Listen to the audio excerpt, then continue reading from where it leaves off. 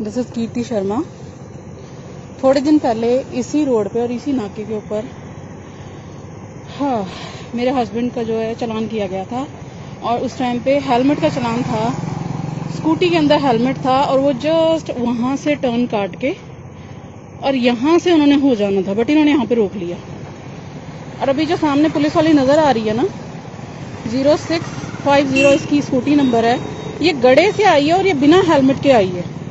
अभी रुकिए हम देखते हैं इनसे बात करके कि बात में क्या कहते हैं ये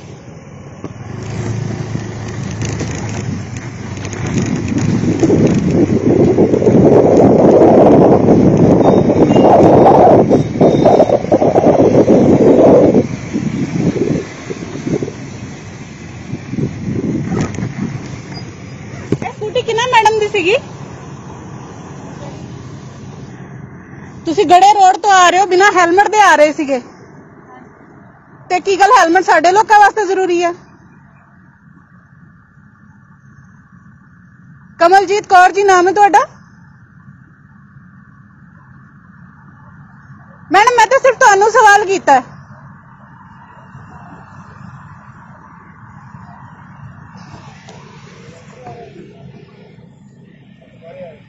ਨਹੀਂ ਜੀ, ਨਹੀਂ, ਹੁਣੇ ਹੀ 15 ਮਿੰਟ ਦੀ ਗੱਲ ਹੈ ਆ ਤੁਹਾਡੇ ਬੈਂਕ ਆਫ ਮਹਾਰਾਸ਼ਟਰ ਦੇ ਅੱਗੇ ਮੈਂ ਖੜੀ ਸੀ ਮੈਂ ਇਹਨਾਂ ਨੂੰ ਆਂਦੇ ਦੇਖਿਆ ਸੀਗਾ। ਨਾ ਜੀ ਨਾ 15 20 ਮਿੰਟਾਂ ਦਾ ਫੇਰ ਹੈ ਜੀ। ਚਲੋ ਜੇ 4 ਵਜੇ ਵੀ ਆਏ ਸੀ ਤੇ ਹੈਲਮਟ ਸਾਡੇ ਲੋਕਾਂ ਵਾਸਤੇ ਜ਼ਰੂਰੀ ਹੈ ਤੁਹਾਡੇ ਲੋਕਾਂ ਵਾਸਤੇ ਜ਼ਰੂਰੀ ਨਹੀਂ ਹੈ।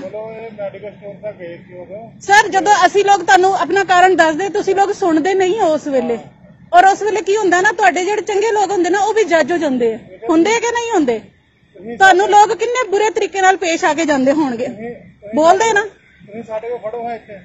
ਤੁਹਾਨੂੰ ਪਤਾ ਸਰ ਮੈਂ ਇੱਥੇ ਖੜਦੀ ਆ ਮੇਰੇ ਹਸਬੰਡ ਨਾ ਇਧਰੋਂ ਨਿਕਲੇ ਸੀ ਆ ਸਾਹਮਣੇ ਬੈਂਕ ਆਫ ਇੰਡੀਆ ਦੇ ਨਾਲ ਵਾਲੀ ਗਲੀ ਚੋਂ। ਇੱਥੋਂ ਟਰਨ ਕੱਟ ਕੇ ਨਾ ਇੱਧਰ ਏਟੀਐਮ ਤੇ ਜਾਣਾ ਸੀ। ਮਹੀਨੇ ਦੀ ਗੱਲ ਹੋ ਗਈ ਹੈ। ਹੈਲਮਟ ਡਿੱਕੀ 'ਚ ਪਿਆ ਆ। ਇੰਸ਼ੋਰੈਂਸ ਮੇਰੇ ਕੋਲ ਹੈ। ਪੋਲੂਸ਼ਨ ਪਰਚੀ ਮੇਰੇ ਕੋਲ ਹੈ। ਹਰ ਇੱਕ ਚੀਜ਼ ਮੇਰੇ ਕੋਲ ਹੈ। ਉਸ ਤੋਂ ਬਾਵਜੂਦ ਵੀ ਨਾ ਉਹਨਾਂ ਦਾ ਇਹਦਾ ਹੈਲਮਟ ਦਾ ਚਲਾਨ ਕੱਟਿਆ ਗਿਆ। ਆ ਕੇ ਮੈਂ ਇੱਥੇ ਗੱਲ ਕੀਤੀ ਤੇ ਇੱਥੇ ਇੱਕ ਕੁੜੀ ਸੀਗੀ ਨਾਲ ਇੱਕ ਮੈਡਮ ਸੀਗੇ। ਉਹ ਮੈਡਮ ਵਿਚਾਰੀ ਬੜੀ ਬੀਬੀ ਹੈ ਤੁਹਾਡੀ। ਇਸ ਕਰਕੇ ਮੈਂ ਬੋਲੀ ਨਹੀਂ। ਉਹ ਕੁੜੀ ਅੱਗੋਂ ਕਹਿੰਦੀ ਹੈ ਜੀ ਇੰਸ਼ੋਰੈਂਸ ਹੈ ਨਹੀਂ ਸੀ। ਤੇ ਬੀਬਾ, ਜੇ ਇੰਸ਼ੋਰੈਂਸ ਨਹੀਂ ਸੀਗੀ, ਤੂੰ ਇੰਸ਼ੋਰੈਂਸ ਦਾ ਚਲਾਨ ਕੱਟਦੀ ਨਾ। ਹੈਲਮਟ ਦਾ ਕਿਹੜੀ ਗੱਲ ਦਾ? ਬਸ ਮੇਰਾ ਆ ਮੈਡਮ ਨੂੰ ਇੱਕ ਹੀ ਸੀਗਾ। ਹੁਣ ਆ ਮੈਡਮ ਨੂੰ ਮੈਂ ਸਵਾਲ ਪੁੱਛ ਲਿਆ ਕਿੰਨਾ ਔਖਾ ਹੁੰਦਾ ਸਾਨੂੰ ਜਵਾਬ ਦੇਣਾ? ਹੁੰਦਾ ਕਿ ਨਹੀਂ ਹੁੰਦਾ? ਬੀਇੰਗ ਅ ਲੇਡੀ ਲਗਾ ਲਓ ਬੀਇੰਗ ਅ ਪੰਦਾ ਲਾ ਲਓ, ਔਖਾ ਕਿੰਨਾ ਹੁੰਦਾ ਜਦੋਂ ਕੋਈ ਸਾਨੂੰ ਆ ਕੇ ਸਵਾਲ ਜਵਾਬ ਪੁੱਛਦਾ ਆ ਮੈਡਮ ਹੁਣ ਮੇਰੇ ਨੇੜੇ ਨਹੀਂ ਆਂਡੇ ਮੇਰੀ ਗੱਲ ਤਾਂ ਸੁਣੋ ਤੁਸੀਂ। ਜਦੋਂ ਪੁਲਿਸ ਦੇ ਵਿੱਚ ਆਪਾਂ ਭਰਤੀ ਹੁੰਦੇ ਆ ਨਾ ਸੌ ਕਸਮਾਂ ਖਾ ਕੇ ਝੰਡੇ ਥੱਲੋਂ ਨਿਕਲ ਕੇ ਆਪਾਂ ਮੈਨੂੰ ਤਾਂ ਸਰ ਇੱਕ ਚੀਜ਼ ਪਤਾ ਹੈ ਜਦੋਂ ਆਪਾਂ ਪੋਸਟ 'ਚ ਭਰਤੀ ਹੋ ਜਾਈਏ ਜਾਂ ਜਿਹੜੇ ਮਰਜ਼ੀ ਮਹਿਕਮੇ 'ਚ ਹੋ ਜਾਈਏ ਸਾਨੂੰ ਇੱਕ ਪੇਸ਼ੈਂਸ ਲੈਵਲ ਜ਼ਰੂਰ ਸਿਖਾਇਆ ਜਾਂਦਾ ਹੈ ਹੈਨਾ? ਉਹ ਕਿਸੇ ਨਾਲ ਗੱਲ ਕਰਨ ਦਾ ਇੱਕ ਤਰੀਕਾ ਹੁੰਦਾ ਹੈ ਇੱਕ ਸਟੈਂਡਰਡ ਹੁੰਦਾ ਹੈ ਕਿ ਹਾਂਜੀ ਜੀ ਜੀ ਕੋਈ ਗੱਲ ਹੁੰਦੀ ਹੈ। ਬੋਲਣ ਦਾ ਵਰਤੀਵਾ ਉਦੋਂ ਇੱਥੇ ਇੰਚਾਰਜ ਸੀਗੇ ਬਹੁਤ ਲੈਵਲ ਲੋ ਸੀਗਾ। ਮੈਂ ਮੁੜ ਕੇ ਗੱਲ ਨਹੀਂ ਕੀਤੀ ਜਦੋਂ ਮੈਂ ਉਹਨਾਂ ਨੂੰ ਕਿਹਾ ਨਾ ਕਿ ਦਿਸ ਇਜ਼ ਵੈਰੀ ਰੋਂਗ ਕਿ ਤੁਸੀਂ ਲੋਕਾਂ ਨੂੰ ਕਿੱਦਾਂ ਕੁਐਸਚਨ ਪੁੱਟ ਕਰਦੇ ਹੋ ਉਦੋਂ ਉਹਨਾਂ ਸਰ ਨੇ ਕੀ ਕਿਹਾ? ਬੜੀ ਕੜੀ ਦੇ ਵਿੱਚ ਮੁੜ ਕੇ ਆਏ ਕਿ ਜਿਸ ਦਾ ਉਹਨਾਂ ਪਤਾ ਨਹੀਂ ਕੱਢ ਕੇ ਨਹੀਂ ਮਾਰ ਦੇਣੀ ਮੇਰੇ? ਕਿੰਨਾ ਕੁ ਲੋ ਲੱਗਦਾ। ਮੈਂ ਨਾ ਮੈਡਮ ਨੂੰ ਨਾ ਕੋਈ ਕੁਐਸਚਨ ਨਹੀਂ ਸੀ ਕਰਨਾ। ਮੈਂ ਬਿਲਕੁਲ ਨਹੀਂ। ਤੁਸੀਂ ਸ਼ਾਇਦ ਨੋਟਿਸ ਵੀ ਕੀਤਾ ਮੈਂ ਤੁਹਾਨੂੰ ਪੂਰਾ ਤੁਹਾਡਾ ਫੇਸ ਦੇਖਿਆ ਤੁਹਾਨੂੰ ਜਾਂਦੇ ਤੱਕ ਮੈਂ ਮੁੜ ਕੇ ਦੇਖੀ ਆ। ਮੈਂ ਬਿਲਕੁਲ ਨਹੀਂ ਤੁਹਾਨੂੰ ਫੜਨ ਦੇ ਉਹਦੇ ਵਿੱਚ। ਮੇਰਾ ਤੁਹਾਡੇ ਨਾਲ ਕੋਈ ਰਸਤਾ ਪੁੱਛ ਰਹੀ ਸੀ ਮੈਂ ਫਸਟ ਟਾਈਮ ਮੇਰਾ ਕੋਈ ਪਰਸਨਲ ਗਰਜ ਨਹੀਂ ਹੈ ਮੈਨੂੰ।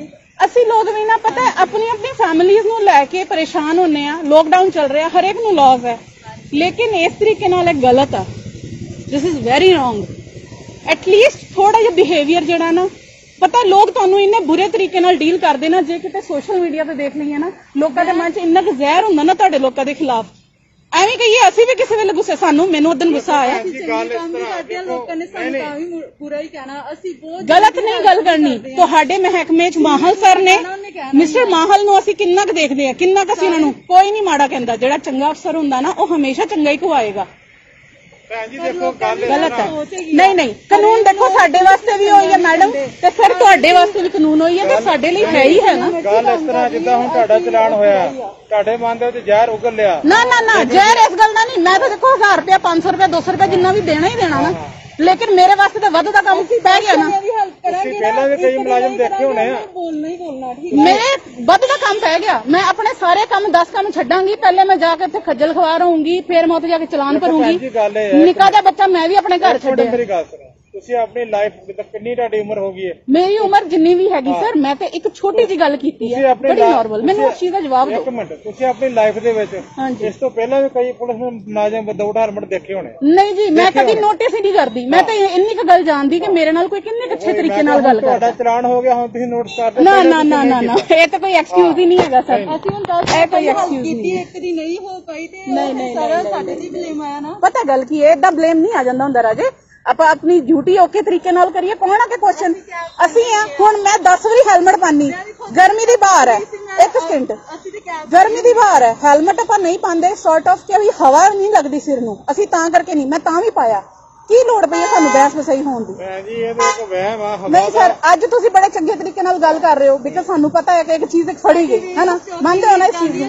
ਉਦੋਂ ਨੇ ਸਰ ਕੇ ਕਹਿੰਦੇ ਅਸੀਂ ਇੰਨੀ ਕੁਰਬਾਨੀ ਦਿੰਦੇ ਫਲਾਣ ਠੀਕ ਹੈ ਜੀ ਅਸੀਂ ਵੀ ਦੇ ਦਿੰਨੇ ਕੁਰਬਾਨੀ ਦੋ ਸਾਨੂੰ 70 ਹਜ਼ਾਰ ਰੁਪਏ ਮਹੀਨਾ ਅਸੀਂ ਵੀ ਦਿੰਨੇ ਆ ਅਸੀਂ ਮਰ ਮਰ ਕੇ ਅਸੀਂ ਵਿੱਚੋਂ ਦੀ ਇਹ ਚੀਜ਼ਾਂ ਨੂੰ ਵੀ ਫੇਸ ਇਹਦਾ ਕਰਨਾ। ਮਤਲਬ ਜਿਹੜਾ ਫੌਜੀ ਇੱਕ ਸਰਹੱਦ ਤੇ ਮਰਦਾ ਹਾਂਜੀ। ਉਹ ਪੈਸਾ ਕਰਕੇ ਸਰ ਮਰਦਾ। ਮੈਨੂੰ ਨਾ ਇਹਨਾਂ ਚੀਜ਼ਾਂ ਵਾਸਤੇ ਫੜੋ ਮੈਨੂੰ ਨਾ ਇਹ ਵਰਡ ਪਲਾਂਟਿੰਗ ਨਾ ਮੇਰੇ ਨਾਲ ਕਰੋ। ਭੈਣ ਜੀ ਤੁਹਾਡਾ ਨਾ ਮਤਲਬ ਨਾ ਨਾ ਨਾ ਨਾ ਜਿਹੜਾ ਇੱਕ ਫੌਜ ਦੇ ਵਿੱਚ ਕੁਰਬਾਨੀ ਦਿੰਦਾ ਉਹਦਾ ਪਰਿਵਾਰ ਤੁਸੀਂ ਫੌਜ ਦੇ ਨਾਲ ਖੁਦ ਨੂੰ ਕੰਪੇਅਰ ਨਾ ਕਰੋ। ਫੌਜੀ ਬੰਦਿਆਂ ਨੂੰ ਤੁਸੀਂ ਨਾਲ ਖੜੇ ਕਰ ਲਓ ਉਹ ਨਾਕੇ ਤੇ ਖੜੇ ਫੌਜੀ। ਮਤਲਬ ਨਹੀਂ ਉੜਦਾ ਕਿਸੇ ਨੂੰ ਜੀ ਤੋਂ ਇਲਾਵਾ ਗੱਲ ਕਰ ਜਾਂਦਾ ਮਤਲਬ ਨਹੀਂ ਫੌਜੀ ਹੈਲਮਟ ਦੇ ਨਾ ਨਾ ਬਿਲਕੁਲ।